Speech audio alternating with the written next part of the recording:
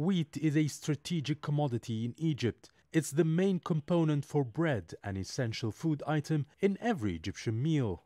Egypt consumed almost 21 million tons of wheat in 2022. Half of the produce, which is equivalent to 10.5 million tons, was imported, with 80% sourced from Russia and Ukraine. The two Eastern European nations are Egypt's biggest supplier of wheat. The outbreak of the coronavirus pandemic in 2020 and the conflict in Europe led to a slowdown of wheat shipments and a hike in import bills. This pushed the government to work on increasing production to slash import costs. We are working on three fronts. First is to create seeds that adapt to our climate, and so far this has been a success. We have more than 10 types of wheat with international quality.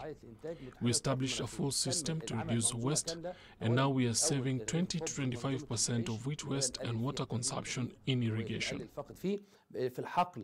The government also expanded its storage facilities, building new silos with a capacity of 3.5 million tons of wheat, up from 1.25 million tons in 2020. At the Ministry of Agriculture, our role is to grow horizontally and vertically.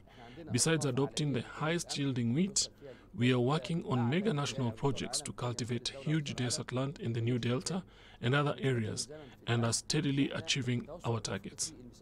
Official statistics show land under wheat production in Egypt rose to 3.6 million feddans in 2022, up from 3.4 million feddans cultivated a year earlier. Meanwhile, Egypt's wheat production hit 10 million tons in 2022 from 9.5 million tons produced in 2021. Experts say the data on local production is promising, and there's optimism that the government would be able to achieve its targets to produce at least 70% of its wheat needs by 2030.